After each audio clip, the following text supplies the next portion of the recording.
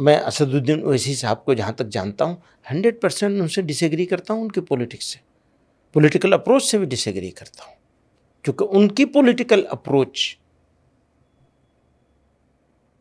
उस political approach को support करती है, जो बांटने वाली है। और उससे उनको भी कुछ फ़ायदा होता है, दूसरों को उससे भी ज़्यादा फ़ायदा होता है। तो ये उनकी पॉलिटिकल अप्रोच की बात, अपना डिसएग्रीमेंट शो करता हूँ। इसी के साथ। ये कहना चाहता हूँ आपसे, मुझे बिल्कुल उम्मीद नहीं थी। वो पाकिस्तान गए थे, पुरानी बात हो गई है, कुछ साल पुरानी बात हो गई। और वहाँ उन्होंने उनसे इसी तरह का सवाल किया गया था, जहाँ उनको, जैसे आपने उससे सवाल किया, इंडिया में मुसलमानों की क्या सिचुएशन है, फला है, फला। इसी तरह का उनसे कुछ सवाल किया गया था। ऐसा दो टू को ब्लंट जवाब दिया था उन्होंने रिकॉर्ड किए जाने के काबिल है। तो सारी चीज़ों को मिला के देखा जाएगा। जहाँ तक उनके भाई का ये था कि पंद्रह मिनट के लिए हटा दो। तो ये बांटने वाले लोग हैं। इस पर तो उनके खिलाफ मुकदमा होना चाहिए था। सज़ा होनी चाहिए थी वही कहता हूँ, अगेन फिर उसी जगह पे आ जाऊँगा मैं। बिल्कुल ये भड़काऊ बात है, नफरती बात है। और इसकी जितनी मजम्मत की जाए कम है। लेकिन सर, उन्हीं के पीछे इतनी मुसलमानों की भीड़ भी तो खड़ी होती है। वो खुश होती है वो ताली मारती है जब वो कहते हैं पंद्रह मिनट पुलिस हटा लो। ऐसा है इसी तरह की बहुत सारी बात बहुत सारे लोग उधर भी बोलते हैं वहाँ भी जमा हो जाती है भीड़। तो पागल लोगों का तो मजमा है।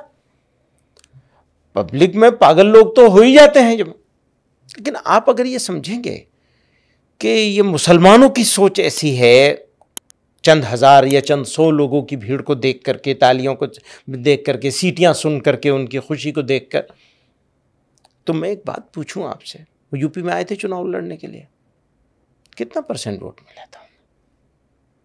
नहीं मिला ना। वोट तो नहीं दिया लोगों ने लोगों ने अपना नेता नहीं मानते हैं।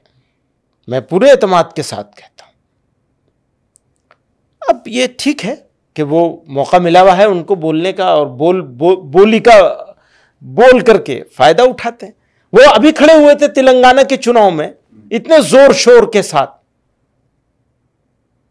हैदराबाद के अलावा कहीं वोट दिलवा सके उसे? तो हम तो बहुत पहले से उनसे कह रहे हैं भैया आप वहीं रहिए।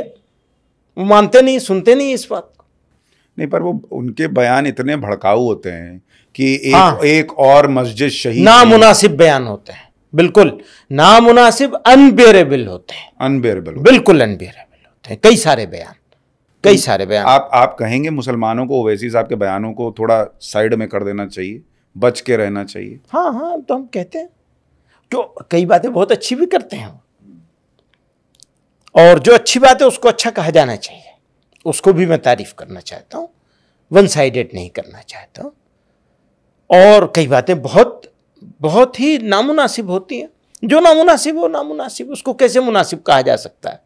कभी नहीं कहा जा सकता। आपने सर कहा कि असदुद्दीन ओवैसी की पॉलिटिक्स या उनकी जो सोच है वो मुसलमान पसंद नहीं कर रहा, इसलिए उनको चुनाव में जीत नहीं मिल रही है। नहीं, मैं दूसरी बात कह रहा हूँ। इसको दूसरी तरह से मैंने कहा है, वो यही है कि अगर सब मुझसे आपने कहा ना कि लोग खुश होते हैं मुसलमान सब, जब वो ये बात कहता है, पंद्रह मिनट के लिए हटा दो।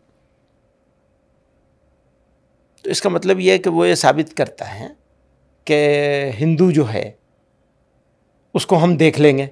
तो रजाकारों ने यही सब तो किया था। हैदराबाद का वो पुराना किस्सा है।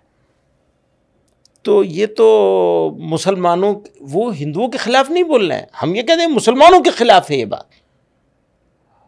मुसलमान इस मुल्क में रहने का फैसला किया मुसलमान ने तो वो किसी फौज की वजह से नहीं किया है। अपने हिंदू भाइयों की वजह से किया उनके साथ रहने के लिए किया। हम आपके साथ हैं, आपका बुराई में हमारी बुराई है, आपकी अच्छाई में हमारी अच्छाई है। यह मुल्क हम हम, हमारा है, हम कहते तो हमारे का मतलब ये नहीं है, मुसलमानों का मुल्क है यह हमारा और आपका यानी ज्वाइंट ज्वाइंट असेट है हमारी। ये असेट है हमारे पास जो हमारे मालिक ने, प्रभु ने, ईश्वर ने, खुदा ने, अल्लाह ने दिए इसको प्रोटेक्ट करना, तरक्की देना आगे बढ़ाना हमारी आपकी साझा ज़िम्मेदारी है।